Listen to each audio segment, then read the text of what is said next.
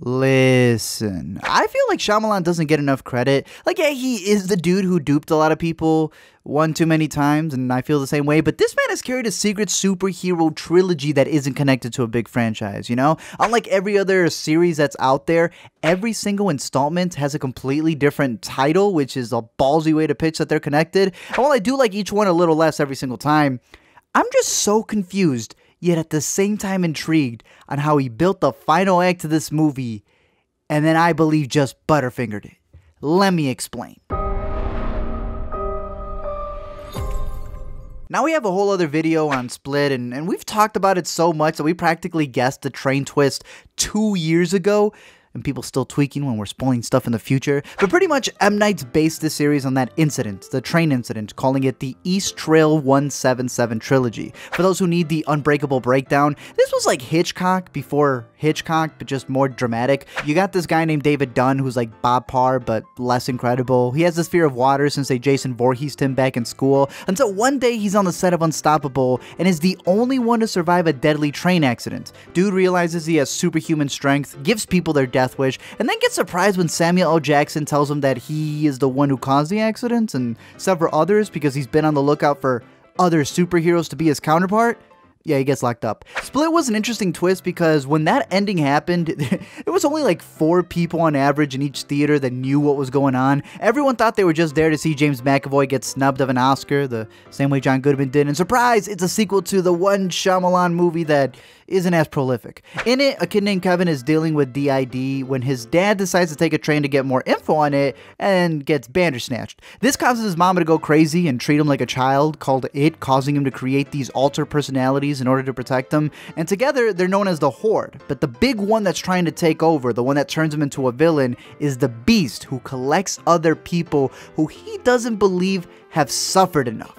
It's a pretty interesting psychology and you realize it's all part of a Shyamalan superhero movie. So while Kevin and all of his other minion names that he has is able to get away by the end of that one, David then starts hunting him down, Glass starts orchestrating a plan, and Shyamalan is able to make his third and final sequel.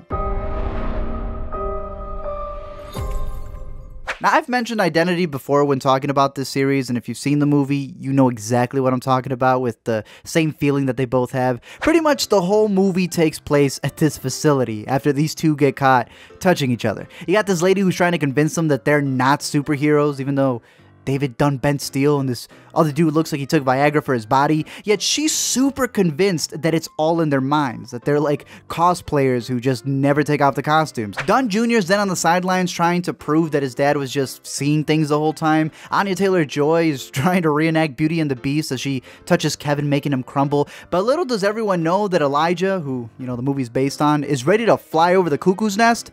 That's probably because he doesn't appear till an hour into this movie. Now, I've always liked the deconstruction that movies have when it deals with the superhero genre, right? And Unbreakable was one of the first to do it, but since then, we've had a lot. So I'm not hating on the idea of mimicking the third act climax, right? But this did feel a lot like BVS when they tried to make them fight in front of everybody. Of course, my money was on the Beast because, you know, that dude still has like three levels to Digivolve while David's done. But then at the end, everyone dies.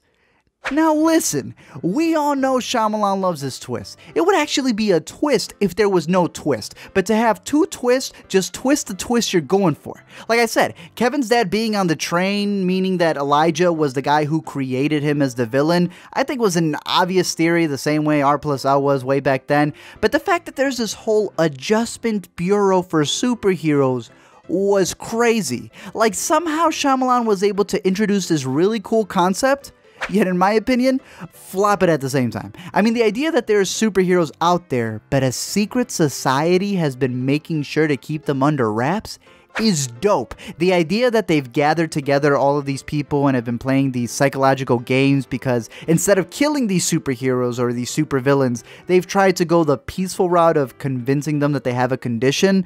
That's interesting because when you compare it to other superhero movies where you have civil wars and they start making a big deal that when you have these really strong superheroes, it's only going to cause other villains to come out. The idea that Batman only exists because of the Joker and the Joker exists because of Batman. Thus, the reason that they're here is because they want to make sure that that chaos doesn't get out of order. So how in the hell did they get duped by a man in a wheelchair? You're telling me that for tens of thousands of years, this group has been hiding all imagery, all news reports, not even a hieroglyph slipped, but a guy named Mr. Glass, cause he's so frail, is able to live stream this whole battle on his Twitch account? Bruh, you had a whole group of people eating at the same time. That's how orchestrated y'all were. Why did you leave one employee watching the three of these people? Like, you guys didn't even put in a guard, right? Y'all left the minimum wage employee who, who gladly opened the door for these two to escape like there was no problem. Y'all were the ones who set up the cameras for him. And I never get this with movies, but you ever see when they set up a camera and the person is able to get to the camera and like rearrange everything that's in there, even though the camera would have caught them going?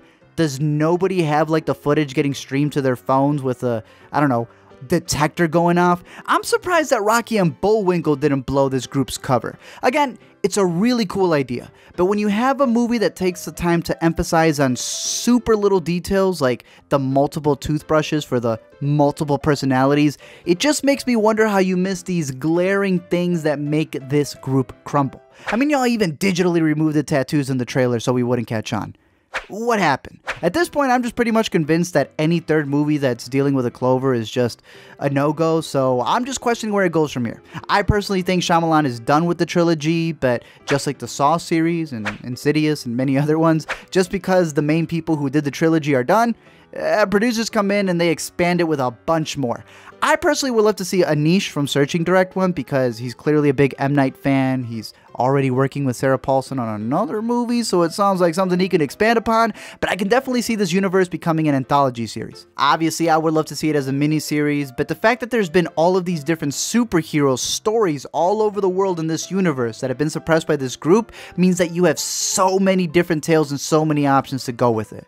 Either way, while I have liked every little movie a little less, I still think M. Night has created something really interesting, something that can be really expanded upon. But it's very clear that the more sequels you add to a franchise like this, the more fragile it gets. Thank you guys for checking out this video. I'm curious to know your thoughts in the comment section. Like I said, those four movies that I had mentioned, the, the four shows, I'm still working on those. Some people forget how long it takes to edit a video over here, but we've been doing a, a little road trip down the west coast leading up to Sundance. That's where we're at now. So know that the videos are going to be stilted a little bit. Maybe the editing will be a little backed up until we cover everything at the film festival, which of course we're going to do a Let Me Explain on, as well as everything else that we're missing up on to just play catch up in a sense. But I'm curious to know your thoughts on this film. Let me know your thoughts down below in the comment section. Out of the three, which is your favorite? Like I said, for me, it goes Unbreakable, then it goes Split, then it goes Glass. I like parts of each.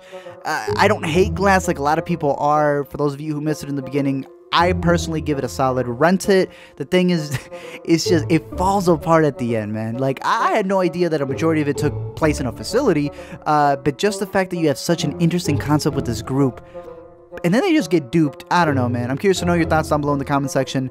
Don't forget to comment, like, and subscribe and etc.